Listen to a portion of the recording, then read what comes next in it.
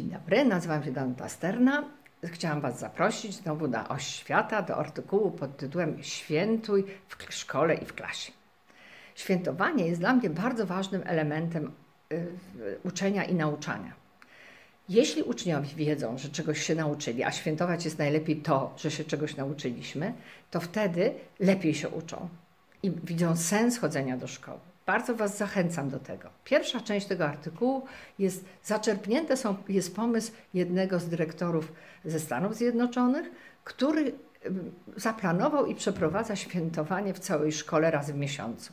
Ja już pisałam kilka razy na temat świętowania, bo to dla mnie taki ważny temat, świętowania w szkole, ale warto jeszcze raz się nad tym pochylić. Może ten pomysł, który zaproponował dyrektor, przyda się też w naszej szkole.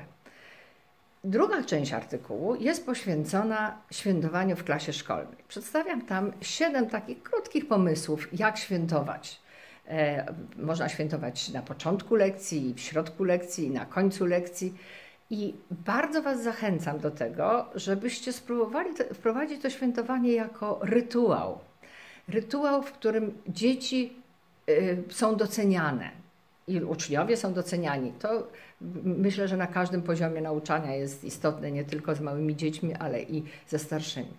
Jeśli uczeń wychodzi ze szkoły z przeświadczeniem, że się czegoś nauczył, że udało się, że osiągnął sukces, to to jest bardzo dobra, motywująca e, sprawa do, do uczenia się. Bardzo Was zachęcam, żebyście sami wymyślili różnego rodzaju, na pewno macie różne inne pomysły, swoje własne świętowania, ale żeby właśnie je połączyć z takim rytuałem, takim przyzwoleniem na to. To znaczy, że, że nie uczymy w szkole tylko dlatego, y, że każdy musi się nauczyć, że to jest obowiązek, że to jest szkoła, to, to jest obowiązek się tego nauczyć, tylko docenić tego, żeśmy się czegoś nauczyli. Na przykład weźmy tabliczkę mnożenia. Nikt się nie rodzi z umiejętnością tabliczki mnożenia, natomiast warto, warto jak ją opanujemy, świętować razem z uczniami. Można świętować naprawdę, naprawdę wszystko. To, że już umiemy pisać, e, pisać, że umiemy czytać, że umiemy, ale również, że na przykład umiemy, że już opanowaliśmy temat logarytmy.